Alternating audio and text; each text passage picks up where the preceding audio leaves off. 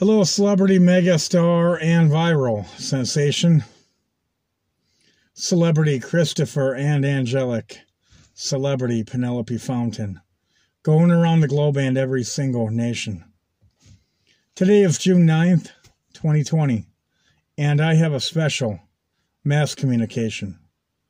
Now, we all know that George Floyd was murdered. Let's get past it. It's done. It's over. Okay? This guy was not a upstanding citizen of the law. Okay, based on what I have gathered, he was not a good citizen in society, period, based on what I gathered. Okay, but you know what? Let's not forget about the Carr brothers out of Wichita, Kansas. How they raped and murdered innocent people. So I'm going to get out and I'm going to shoot a picture.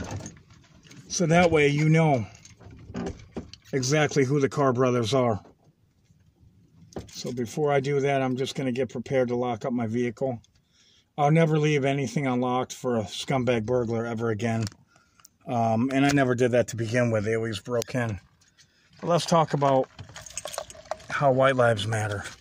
Because I'm sick and tired.